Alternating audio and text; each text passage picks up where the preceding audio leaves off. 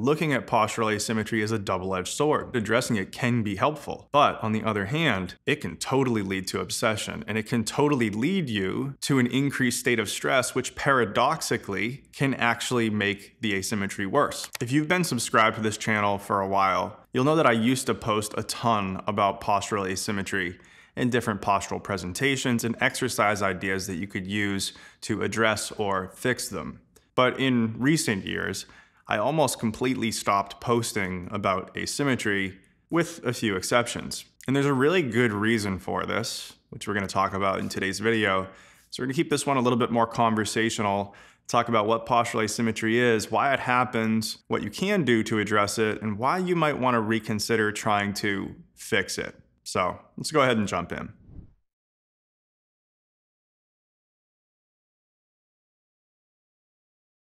All right, so to begin here, let's go back to 2020 when I started this channel. So it's a little older than that, but 2020 is when I really started posting more about postural asymmetry. And the reason for that was I had gone from my rock bottom, 10 years in chronic pain, debilitating symptoms, absolute worst, to better, but still not all that good. And we're going to talk about that in a second. And so at that point, the bridge from rock bottom to better, but still by no definition doing great, I was using approaches that addressed postural asymmetry. And the reason that this is important to me is because I've been a lifelong musician.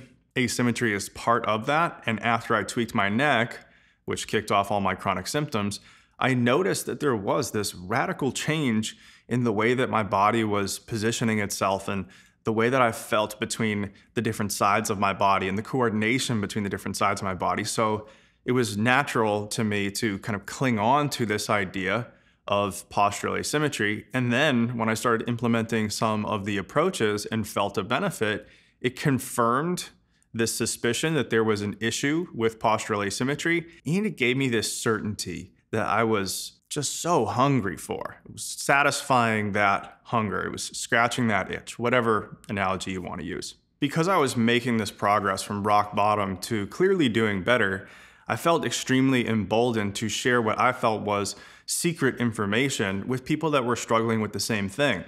And so I started this YouTube channel and started talking about the different presentations of postural asymmetry that I was seeing in some of my patients, as well as myself.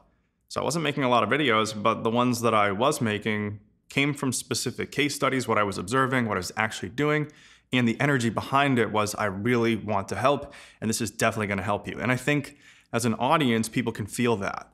And of course, my channel did really, really well in the beginning.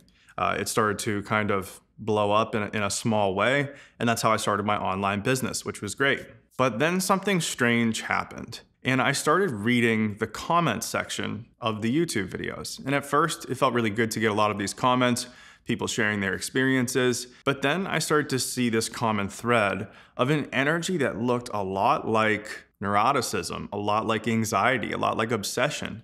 And I started looking at that almost like a mirror and thinking, is that what I'm doing? Well, the truth was that right before I started making this channel, even though I was doing better, I was wearing a heart rate monitor to work, measuring my HRV obsessively, my step counts, adjusting my posture all day long, almost like a tic, right? Constantly obsessed about the different obsessions or the different sensations in my body.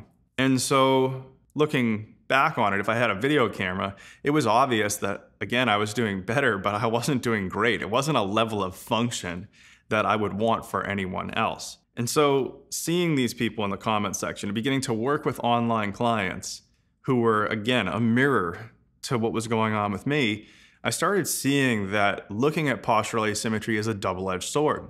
On the one hand, yes, asymmetry can be present and it can get worse after an injury or a stressful time, and addressing it can be helpful. But on the other hand, if taken too far, especially with a certain psychological profile and a certain range of experiences, it can totally lead to obsession and it can totally lead you to an increased state of stress, which paradoxically can actually make the asymmetry worse. We're going to cover that now in just a second. All right, so to kind of have a framework here first, let's talk about what asymmetry is. If we think about postural asymmetry, some of us are just gonna have a normal difference of how we move between the sides. And that makes sense. We're all asymmetrical. And the way I want you to think about this is options, right? So, for example, I can bend my head to the right, I can bend my head to the left. Those are two options. Asymmetry just means I'm gonna bias one of those options more than another. Now, some of this is just natural, but it also can have to do with the movements we do repetitively. So, I grew up playing music for years and years and years, thousands and thousands of hours always in asymmetrical positions, or our injury history, right? So we hurt something and then the body subconsciously avoids it. Oftentimes, especially in chronic pain, instead of avoiding it short term, which is adaptive, we start avoiding it long term, which is not as adaptive. And even if we start avoiding it a little bit, because we haven't really fully rehabbed that area, that can cause compensations elsewhere, where the body finds creative ways to distribute load across that system. And so we use other strategies or other segments to be able to make up that movement. And this is actually smart from the perspective of the body because it allows us to avoid that area that the brain is perceiving as being threatening and it allows us to continue to accomplish our tasks. Now, the cost of this can sometimes be that we have discomfort in those areas that are compensating.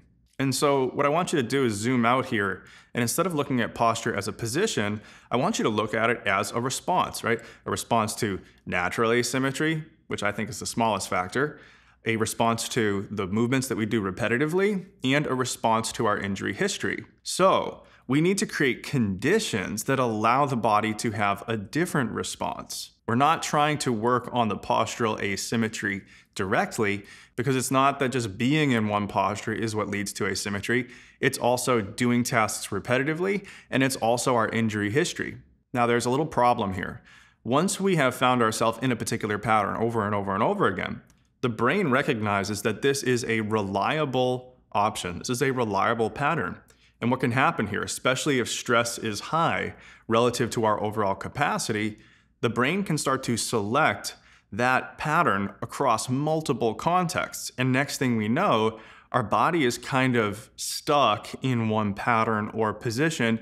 And this is where, if you come across someone who says, hey, there's one pattern out there, and this is how you fix it, and this is how you test it, here you go you are so prone to latching onto that narrative because you feel stuck, you're at rock bottom, you know asymmetry is playing a role in, in some way. And so if someone sells you, hey, let's address the asymmetry directly, you go, okay, take my money, right? The problem is it just doesn't work. So this begs the question what does work? And all we have to really do is look at creating the conditions that allow the body to have a better response. So first of all, we need to be able to identify which options are we biasing, and then we literally just need to work on developing movements where we can bias the opposite options. Now we also have that reliability issue where the body is selecting that pattern because it's highly reliable. We need to develop capacity to give the brain more options that are also reliable. So it's not enough to just do low level drills where you experience the opposite position of the body, but it's also making sure that the brain knows when duress comes in, when there's higher levels of stress, higher levels of demand, we can use those other options as well. So some of the floor-based respiration stuff, mobility stuff, that's a great starting point, but usually the solution is gonna look more around progressive strengthening and progressive training with a good combination of both symmetrical and asymmetrical activities. We don't want to just obsess over, oh my God, I only have to do one side or I have to do the other because nine times out of 10, we're getting it wrong on some level or we're making some incorrect assumption. Even the people like me who literally obsess about this stuff because it's their job all the time, we can still get it wrong in terms of what we want to do. Whenever I've tried to be super, super, we're doing this one little thing on one side and we're neglecting the other, I've totally got worse outcomes than we're just gonna do both sides. We're gonna see how we respond across all of those exposures to both sides we might start cueing the sides a little bit differently. We might see that we respond to loading a little bit differently on those sides, but we're not going to avoid because, again, the avoiding feeds the obsession. The obsession can feed the stress when we're in increased levels of stress, especially psychologically. The brain is not in a good spot to make new predictions and it relies on the old predictions. It says, what pattern can I use right now that's more reliable? So, a couple of questions for you to get started with. First of all, ask yourself Am I obsessing about this stuff? Do I believe that there is one universal pattern that I need to uh, get into? Do I believe that this can be something that's fixed right away just based on addressing the posture itself?